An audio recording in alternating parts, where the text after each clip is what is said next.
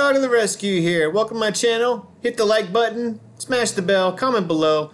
YouTube's uh, changed the algorithm again, so uh, that would help me out, keep me uh, going here on this channel. So let's get right into it here. Uh, as you can see, Bitcoin is at 11,000, broke the 11,000, and is now kind of staying over it, hopefully. And uh, Ethereum's over 300, so about 320. 318 right now. So that's good. Good for me. I mine Ethereum, and obviously I have Bitcoin and Ethereum uh, that I hold. So uh, other things that I would consider holding as well for you guys is this is kind of what I do uh, for my, I guess, my top five right now. Uh, crypto.com, you know, I do obviously have some Cardano, and I'm going to be picking up some XRP as well because uh, it is, I think, is a good coin to have in your bag um, just for diversity, right? Um, Stellar is obviously a good one um, that I hold, and uh, Neo I am still holding um, from a long time ago. So looks good that it's starting to go up a little bit. So everything's in the green right now, which is great to see uh, in the cryptocurrency world. So moving into the charts here. So let me get my big head out of the way, and we'll go from there. Uh, moving in the charts here, as you can see, Bitcoin took its nice rally out for the past seven days. Let's zoom in here. And these are day candles. So one, two, three, four, five, six, seven. And now we're on day eight and it's starting to do, looks like possibly a little correction. It's a really strong green bar coming up. And everything's been on a power play. As you can see, your MAs are on an incline up. And it passed a buy point on your MACD. And everything's just going up, gapped away very, very well away from all these moving averages and convergence and divergence slides. So it's a good thing to see, but you know, it looks like it may correct down a little bit. Uh, don't know how much. Right now it's at 10,945. Uh, this is Coinbase. So that's a good thing to see. Um, as far as it's gone up, you know, two grand uh, in the past seven, eight days. So it's to have to correct a little bit sooner or later just don't know how much it might correct just a little bit and then start keep going. You know, it just depends on uh, the sentiment and the not and the you know the market that's going on and everything that's going on around the world. So we're going to get into that because I really want to get into you know what currency is, what money is, what's the difference, gold and silver, and why when the dollar is diluted and it's getting diluted as we speak, and you know we have another stimulus package coming out, another trillion dollars it, it's gonna get diluted pretty pretty badly, you know, just based because you know everybody's nobody's working, hardly anybody's working, and our GDP is just crap right now. So I'll get more into that, but you know, just looking at Bitcoin from a I guess macro point of view, because you know I, I invest in Bitcoin, especially now. I'll buy as much as I can, and, and, and the way I do it, just far as anything that I buy, doesn't matter if it's gold, silver, Bitcoin, Ethereum, XRP, whatever it is. I basically you know, think about it this way: is if, if it's going up, and I don't know if it's going to keep going up, I'll buy a little bit of Bitcoin somewhere. You know what I mean? So I bought some, I believe, just after this uh, RIB, which is a IRB, which is an isolated red red bar in this wave up. Um, because it's gapped away so far, they, they actually a lot of traders, day traders, will buy on that isolated red bar because they're not huge bars like this, so it has room to grow and room to boom. Now it's boomed I wouldn't know if you want to call that an isolated red bar or not, just because of look at the fight that's going on there. But you know, that's uh, a little more into the language of the candles and and and uh, you know the combination of the cam- candles languages. So let's move forward into gold. You know, I kind of want to show you, you know, on a forex. You know, forex we didn't have forex until 1972, um, and now we base everything basically on the forex uh, chart model. So this is gold, gold spot as we speak right now. And this is going back, you know, let's go all the way back to here and then we'll look at things. So as you can see, the last boom it had was in 2011, I believe in August of 2011. And now we're, you know, we're at all time highs. So that's, it's great to see, but it has so much room to grow and we're going to get into that as I move forward into this video so you guys can kind of see what I'm talking about here. Um, and the same thing with silver, if you want to go back. Silver had its big boom in, I believe, April of 2011. So that's, you know, it has much, much more room to grow as far as booming up. And again, we'll go into that as far as why and, you know, based on the dollar value and things going around the world, currencies and money. So moving into what is money, you know, what is lawful money, and what is the difference between legal tender, money, currency, right? Well, we all think that we're spending money right now. What we're actually doing is spending national currency. And national currency was based on gold and silver, um, a base, you know what I mean, backed by gold or silver. And uh, that was lawful money. Gold and silver is lawful money because it's God's money and it, you know, it comes from the ground. We don't just print it and put value on it, just like we're doing now. So uh, back, I believe, in 1933, they changed that whole what is lawful money to basically whatever we print, legal tender, basically. Um, so that's the difference. But back in, I believe, 1913, uh, it basically says in the Fed Reserve um, you know, Act that you're supposed to have at least 40% of that legal notes backed by lawful money, which lawful money was basically God's money, gold and silver.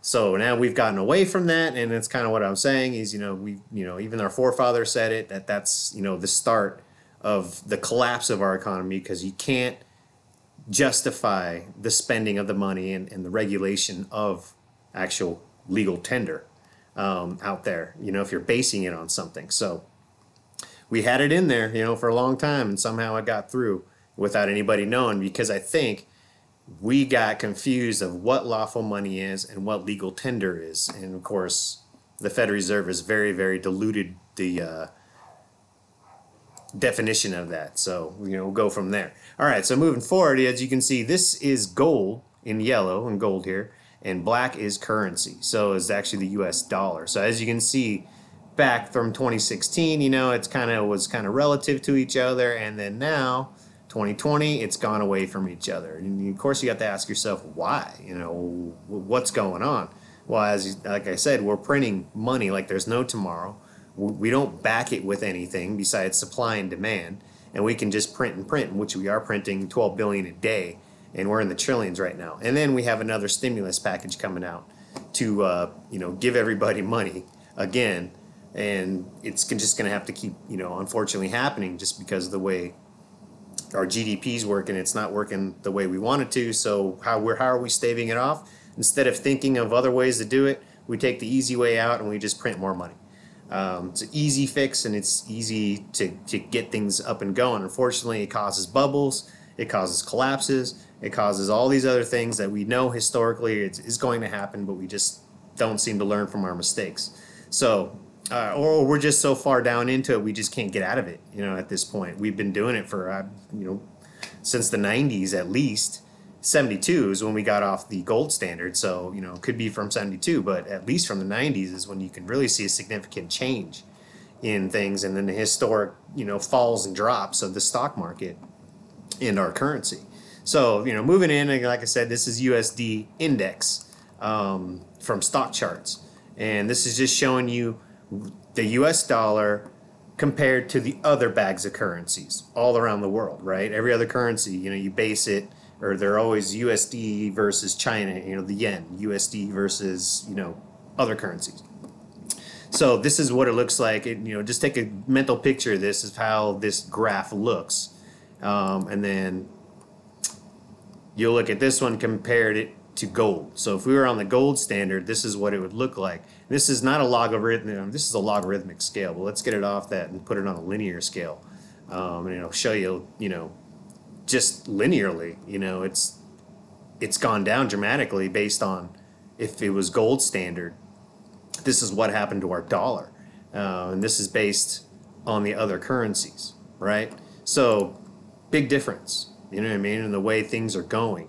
And that's where you're you know the Fed res is kind of at a precipice where you know they may go back to this standard gold standard just to stave off and fix all these issues.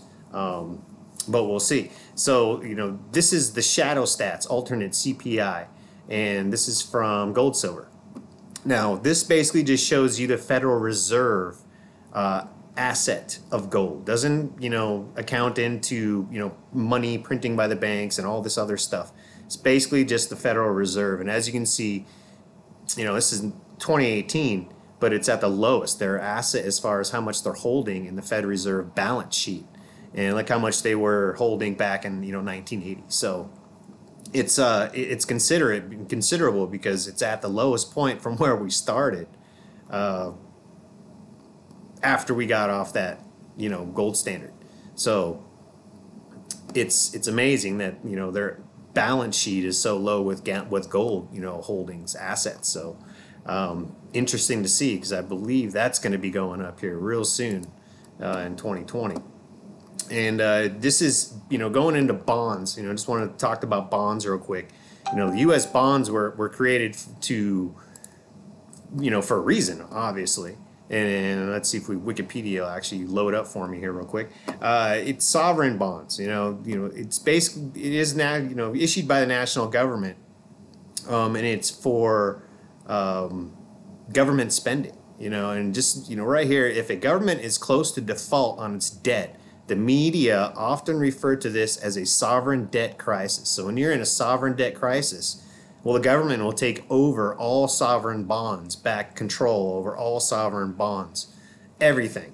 You know, everything. They'll take them all back just because they have to, um, in order to stave off default and pay for the debt and their spending, you know. So that's when you know go back to this and you look at the bond yields, and it's gone down to point point three zero point three right now. I mean, it was under zero point three a couple days ago. So I mean, it's it's crazy. It's it's so when you start looking at these things, and um, you know what bonds are for, you know silver and gold prices compared to the dollar, uh, you know everything it's not looking good for the US dollar, which is why I keep telling everybody get into Bitcoin, get into Ethereum, because that's the new gold and silver as far as digital, um, and you know, uh, easier for I guess uh, the new millennium generation to get in and uh, build investment, build wealth, retirement funds, and so on and so forth. This is what they're into, and it's people's money. You know,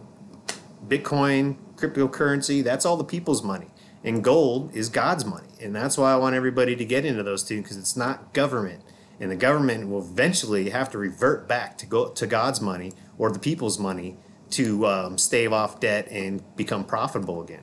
Uh, you just can't keep you know printing money like this and then giving money stimulus out you know a trillion dollars you know more debt.